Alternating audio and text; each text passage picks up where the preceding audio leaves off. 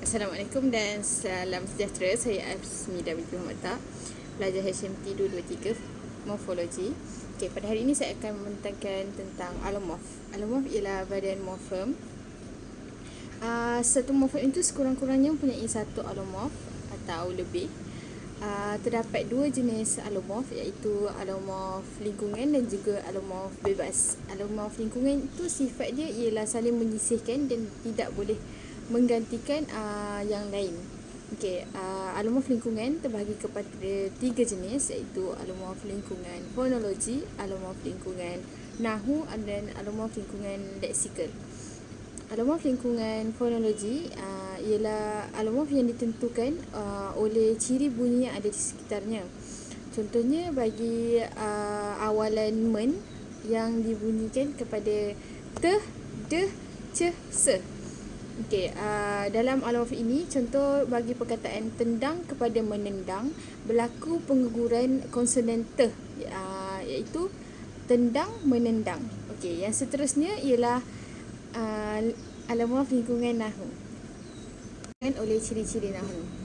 Uh, te dalam mentertawakan tidak digugurkan kerana ter ialah awalan uh, dan pengakalan te akan mempertahankan uh, kedudukan awalan ter.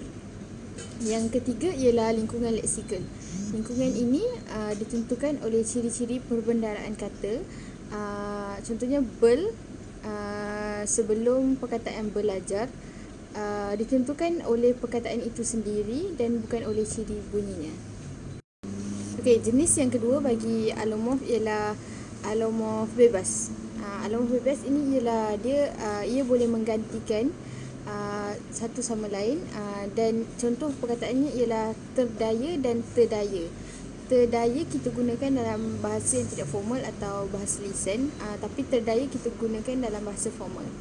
Okey, uh, alomorf dasar pula ialah alomorf yang dipilih untuk melambangkan sesuatu morfem itu. Uh, terdapat empat ciri pemilihan alomorf dasar iaitu kekerapan paling tinggi, um, keselarasan bentuk iaitu berdasarkan bentuk fonologi, yang ketiga ialah bentuk yang produktif. Uh, contohnya bel sebagai alomorf untuk ber hanya pada perkataan belajar. Jadi ia tidak produktif dan tidak boleh dipilih sebagai alomorf dasar.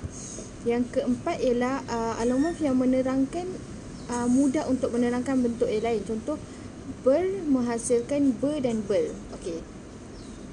Uh, ketiga uh, keempat-empat ciri ini yang paling penting ialah ciri keselarasan bentuk, bentuk yang produktif dan juga bentuk yang mudah menerangkan bentuk yang lain. Uh, Okey, uh, ciri-ciri alomorf ada empat. Yang pertama ialah ciri fonologi yang hampir sama, fungsi yang sama, makna yang sama dan uh, bagi alomorf lingkungan uh, saling menyisihkan.